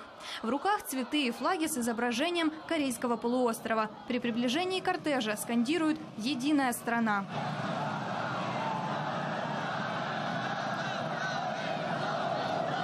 Кроме супруги Ли Соль Джу, Ким Чен Ына сопровождает незаменимая советчица, сестра Ким Йо Джон. Она следит, чтобы все шло по плану во время приема.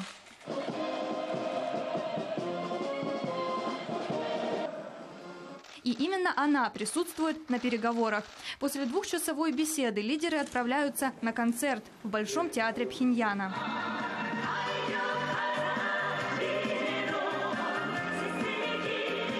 Завершается первый день банкетом. Стол для Северной Кореи неприлично богат. В суп из акульих плавников и ветчина с дыней. После дружественного застолья снова к протокольным делам. Уже на следующий день дружбу лидеры закрепляют на бумаге. В итоговой декларации обещание о денуклеаризации. Простыми словами, устранении ядерного оружия. КНДР обязывается демонтировать ракетный полигон в Тончхане. Еще один в Йонбене закроют только если США будут соблюдать договоренности. При этом список ядерных объектов Пхеньян так и не предоставил. Мы впервые договорились о плане денуклеаризации. Это очень значимое достижение. Северная Корея проведет демонтаж испытательного полигона и пусковых установок под наблюдением международных экспертов. Мы подписали договор, который положит конец жесткой и трагической истории противостояния и решили предпринять меры для того, чтобы Корейский полуостров превратился в территорию мира без ядерного оружия и угроз. Также стороны решили уменьшить военное присутствие на границе, соединить автомобильные и железные дороги и даже подать заявку на совместное проведение Олимпиады в 2032 году. Korea! Но для жителей Южной Кореи такие перспективы кажутся не такими уж радужными. Многие вышли на протесты против встречи Муна с Кимом. В ядерное разоружение северян южане не верят. Ведь после нашумевшей встречи лидера КНДР и американского президента особого прогресса не наблюдается. Меня огорчило, что президент Мун не поднял вопрос о нарушениях прав человека в КНДР. Кроме Ким Чен Ына, в этой стране есть еще и 25 миллионов человек. Тем временем сам Ким Чен Ын пытался доказать всему миру, что живут северяне совсем неплохо. Повел гостя в старейший ресторан Пхеньяна. Его, мол, посещают и обычные горожане. Угощали там холодной гречневой лапшой. А чтобы совсем убедить Муна в сытости страны, Ким отправил в Сеул посылку – две тонны деликатесных грибов. В завершение трехдневного саммита осуществили мечту Мун Дже Ина. Забрались на священную для всех корейцев гору Пэктусан. Ее воспевают и в южнокорейском гимне, и в северокорейской пропаганде. Там же пригласили Ким Чен Ына подняться на самую высокую горную вершину на юге – вулкан Халасан. Пхеньяне над этим пока думают, но посетить Сеул северокорейский лидер уже пообещал. Это будет первый исторический визит главы КНДР в южнокорейскую столицу. Более того, Ким выразил желание еще раз пообщаться с Трампом, а через Мун Дже Ина передал американскому президенту секретное послание. Лидеры США и Южной Кореи встретятся на сессии Генассамблеи ООН уже на следующей неделе. Анна Филь, подробности недели, телеканал Интер. Это были подробности недели. До встречи в следующую пятницу.